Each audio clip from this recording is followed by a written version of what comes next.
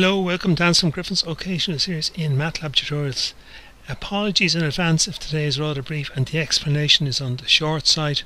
So I just assume a number of things, perhaps incorrectly, but I assume you know how to convert two second order differential equations into one first order differential equation and I also assume that you have the notes available uh, to show the um, mass spring damp shock that we're looking at. So I'm just running the code, that's all. I'm sure you have the notes available to you. So very briefly, um, again apologies, there's not much comments in this, I just want to get it done. So line one there is we just clear the screen, close the workspace and close all figures. There's our two initial conditions. The initial condition for uh, the position is 1 and for the velocity is 0 and here we're calling out E45 we're calling the function um, with a time span of 0 to 20 using the initial conditions. So let's just have a little look here. There we have the function spring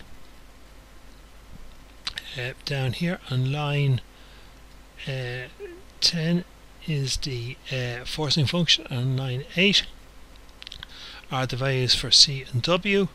And then on line in effect the line that's highlighted there is the first first order differential equation that'll be the, the velocity part.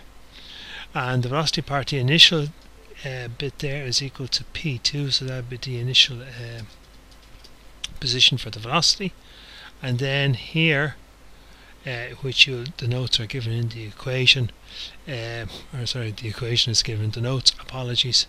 And then remember we're looking at sine theta or theta because remember as theta gets very small we can drop the sine bit and we just have theta. So the first value of theta there is p1